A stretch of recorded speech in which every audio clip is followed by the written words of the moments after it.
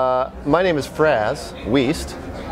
I'm born and raised in Regina, Saskatchewan. Live in Winnipeg now, and I am uh, an actor, comedian, improviser, and uh, sometimes writer. The Fringe is, is a chance for artists to do literally whatever they want.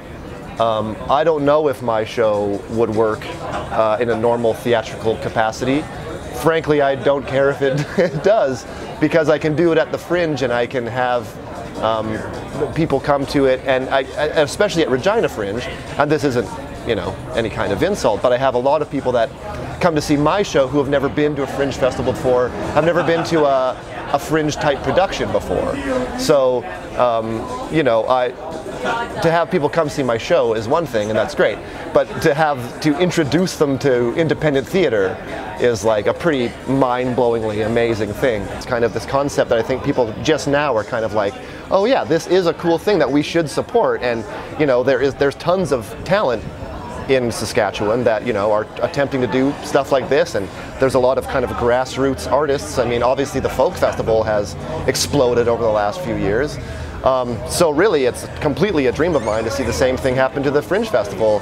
I think the city should. Um, I think it's something the city should totally get behind and turn out in droves for because it's it's year to year, show to show, hour to hour. It's a completely different experience than you know going to the Rider game or going to see a movie at the Galaxy or you know, it's a it's a pretty fresh concept. Even though the Fringe is 11 years old, like I said, compared to a lot of fringes or a lot of other uh, theater companies or festivals, that's a drop in the bucket. So we have an opportunity to like make it something really amazing.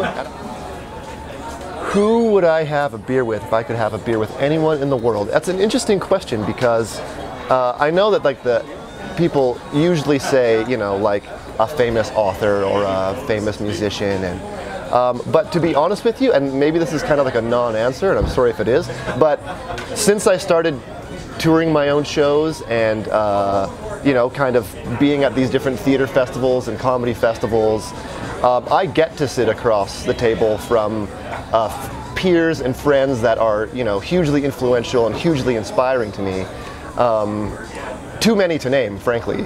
Could have a beer with anyone in the world. It would. I, I, already do have lots of beers with lots of great people. I just hope that that continues, and I get to have beers with. Uh, lots more people from all over the world and talk about art and life in this way that I feel safe and supported because that happens all the time and I'm very blessed to say so. Shows I have remaining over the weekend are at the Artesian on 13th in Regina, uh, Friday 3 o'clock p.m., Saturday 2.45 p.m., and Sunday 5.30 p.m.